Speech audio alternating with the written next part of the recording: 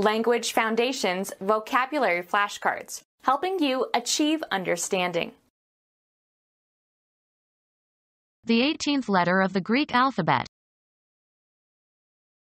The conventional characters of the alphabet used to represent speech. The conventional characters of the alphabet used to represent speech.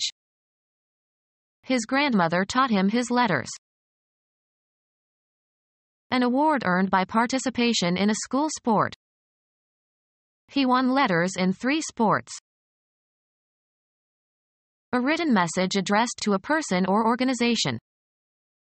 Mailed an indignant letter to the editor. A strictly literal interpretation, as distinct from the intention.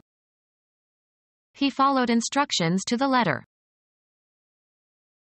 Mark letters on or mark with letters.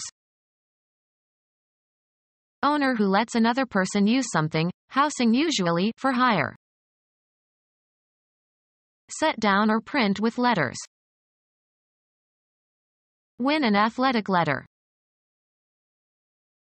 The conventional characters of the alphabet used to represent speech. The alphabet used by ancient Greeks. Become our student and get access to effective and free educational materials. Subscribe to our YouTube channel to become a part of our growing YouTube community and to learn English effectively.